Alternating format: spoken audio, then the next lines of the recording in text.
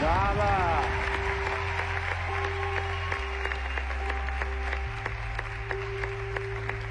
آفرین به شما. می‌تونم خواهش بکنم.